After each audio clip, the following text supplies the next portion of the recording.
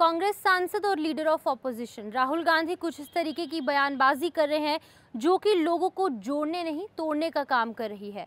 जी हाँ आपको बता दूँ कि कुछ इस तरीके के बयान राहुल गांधी द्वारा दिए जा रहे हैं।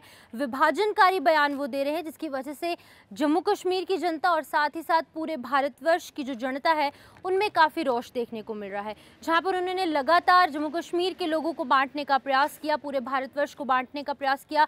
अब वो देश की सबसे बड़ी संस्था भारतीय रेलवे के कर्मचारियों को भी बांटने का प्रयास कर रही है।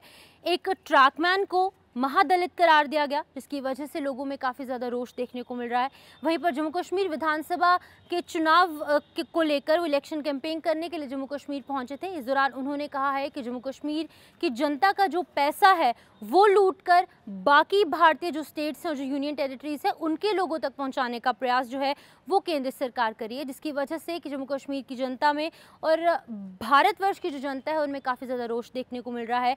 अब राहुल गांधी की बात करेंगे। बात तो वो करते हैं कि मोहब्बत जो है, उसकी दुकान खोली जाए, नफरत ख़त्म की जाए। लेकिन इस मोहब्बत की दुकान में वो सामान कौन सा बेच रहे हैं? सामान जो है, वो लोगों को बांटने का सामान बेचते नज़र आ रहे हैं, जिसकी वजह से पूरे भारतवर्ष के लोग काफ़ी ज़्यादा सख्ते में हैं और उनमें रोष देखने को मिल रहा है।